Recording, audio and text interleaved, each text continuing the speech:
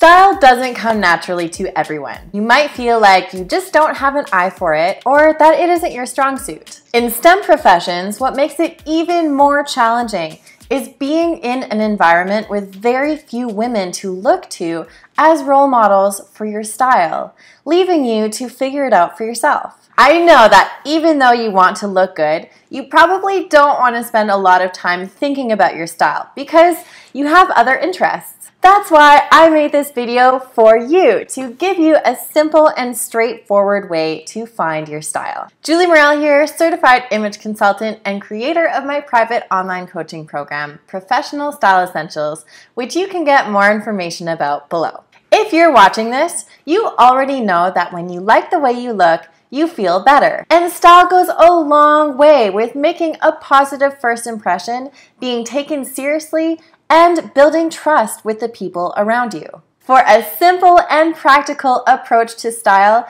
hit subscribe to catch all my new videos. In this video, I'm going to be sharing my style equation method to finding your style. I have used this framework for building my own personal and professional style. And it's the same approach I teach my private clients in my online coaching program. My hope is that this video will help you to forge your very own personal and professional style. I like to think of finding your style as similar to solving a complex math equation. You've got your known values and your unknown variables. With style, the known values are the articles of clothing you wear. That means jackets, sweaters, tops, pants, skirts, dresses, shoes, and accessories like necklaces, bracelets, earrings, purses, and more. You likely already have at least one of each of these items in your wardrobe. But if you feel confused about style and overwhelmed with your wardrobe, it's probably because number one, you have way too much. And number two, it's probably a giant mix of styles that don't go together,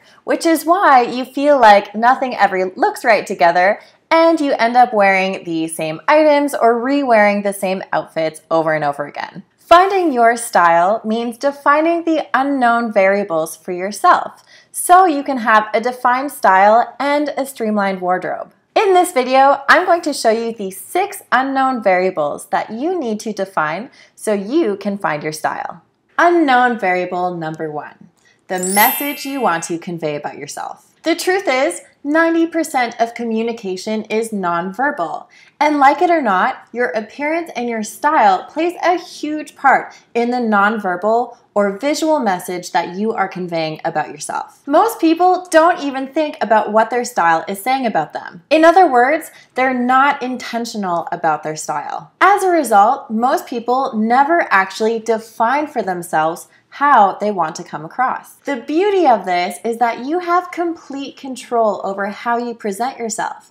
And when you do this intentionally, you can influence the way other people perceive you. This is the first step to finding your style. It starts with you who you are, and what you want to say about yourself beyond your words. What this means is doing some legitimate self reflection about what you're proud of about yourself, what's important to you, and what you want to be known for. When you define these for yourself, you can create a style that expresses who you are from the inside out. So, variable number one is identifying what you want to say about yourself through your style. Unknown variable number two, your preferences. One of the greatest things style has helped me with was figuring out what felt authentic to me. It was unexpected, but paying attention to what I liked and what I didn't like in terms of style helped me understand more about who I am. For example, I knew that I liked to look feminine, and I felt great when I was wearing clothes that were more fitted, elegant, and unique. At times, I would try a more sporty look with a baggy t shirt, sweatpants, and sneakers, but when I wore it, I knew that something felt off. I've also tried more slouchy boho styles and more trendy styles, but again, it just didn't feel quite right. Even though I liked these styles on other women, I just didn't feel like myself when I wore them. It's easy to notice what you like on other people, and naturally, we are drawn to aesthetically pleasing sights, including outfits. But defining your preferences isn't just about noticing what you like on other people, it's about noticing what you like on you. When was the last time you actually thought about which clothing makes you feel best and why? Maybe never. Maybe the last time you got dressed up for a night out or for a special occasion. The thing is, you can feel good about yourself and your style all the time by paying attention to what cuts, what colors, what prints, what fabrics, and what clothing items you truly like wearing. The other side of this is knowing what you don't like so you can stay true to what really feels good for you. Unknown variable number three the shape and construction of your clothing, also known as dressing for your body type. This is such a common question I get from women all the time, and it makes sense because everyone has a unique shape and proportions. For the most part, Clothing is mass made, so of course, clothing manufacturers make clothing for the average body type. However, most of us are not the average body type. So you need to be savvy and understand your shape so that you know what to look for when you're choosing clothing items that will flatter your figure. If you're confused about how to dress for your body type, be sure to check out my video about how to dress for your body type and proportions here, where I share my approach to dressing for your body type from a technical standpoint so you understand your proportions relative to one another. When defining this variable for yourself, it's also useful to define your best necklines, your hem lengths, where to cinch, and where to tuck. Based on these first three variables, what do you want your style to say about you? And which clothing items make you feel most confident? Let me know in the comments below. Unknown variable number four, your best colors and color schemes.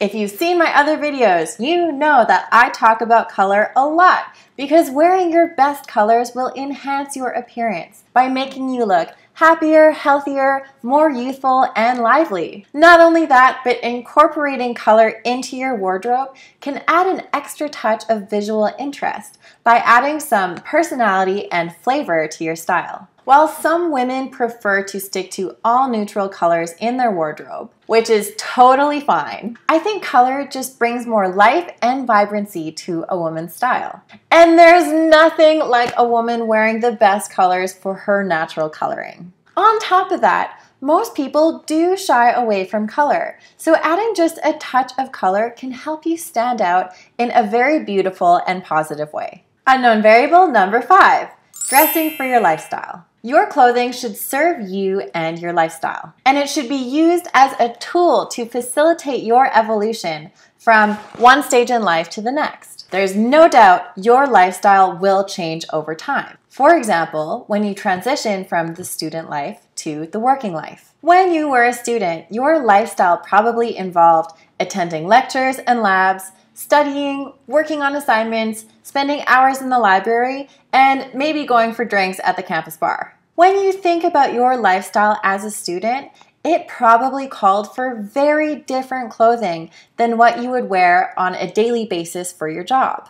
Even if you spend a lot of your time in a lab or at an office, you likely want to be respected and taken seriously by your colleagues, and the clothing that you wore as a student just doesn't quite cut it. So define the environments and occasions that you need to dress for on a regular basis. The proportion of time you spend doing each activity should translate to the amount of clothing you have for each part of your lifestyle. Remember your intentions for dressing as your lifestyle evolves because your style should evolve with it. Unknown variable number six Dressing for your personality. Different dressing styles appeal to different personality types and values. For example, a woman who values comfort in her style above all else will likely go for a more casual style with pieces that have a looser fit, that are easy to move in, and easy to wear. Meanwhile, a woman who values quality, polish,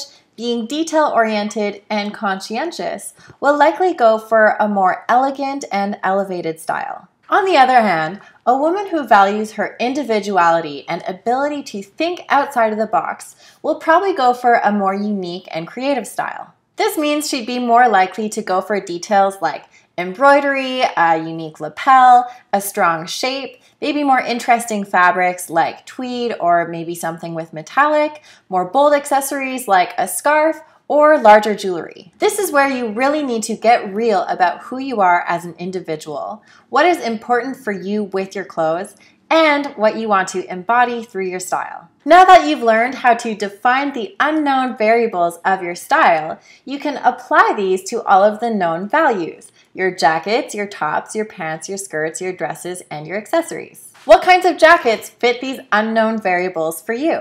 How about tops? What color, cut, length, and fit of pants will you wear? Will you wear dresses? And what kind of accessories will work for you? Once you define these for yourself, you can refine your wardrobe down to the items that fit your style. Now that you've gotten some direction for your personal style, do an inventory of your closet and see how you can streamline what you already have.